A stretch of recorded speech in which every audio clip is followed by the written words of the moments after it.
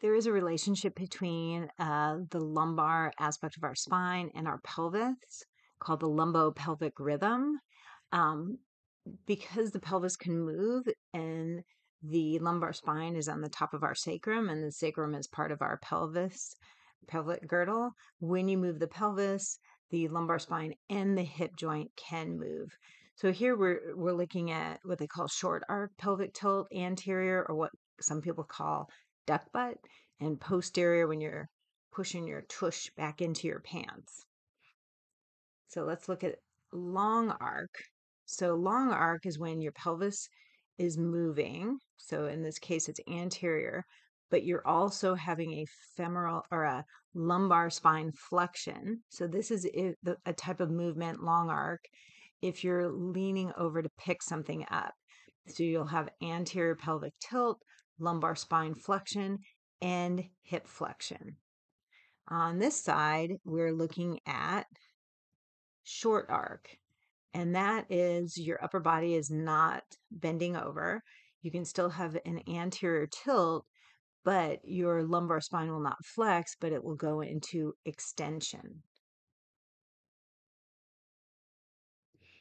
So another version of short arc is if you were going to sit down and if you anterior uh, anteriorly tilted your pelvis, you would have an external or an extension of the lumbar spine. You would still be in hip flexion and you will still have anterior tilt, but the lumbar spine would be an extension. Sometimes they call this, um, this one back here um, on the right, postural hip flexion. So you're moving your, your pelvis into anterior tilt, and it's essentially putting you into hip flexion, what they call postural hip flexion.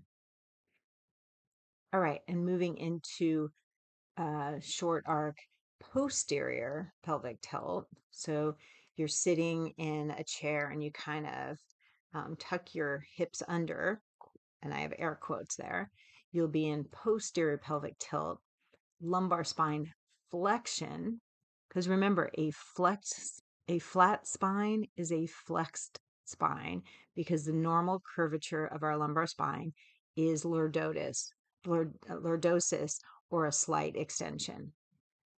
And when you posteriorly pelvic tilt on, in a short arc, you're also going into hip extension.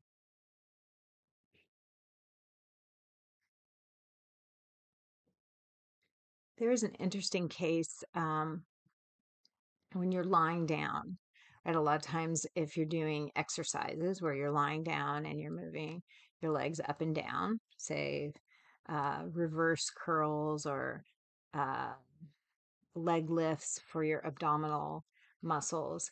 If you try to flex your hip here, but you are not engaging your abdominals, your rectus abdominis, say, your pelvis will go into anterior tilt and your lumbar spine will um, kind of pop into extension.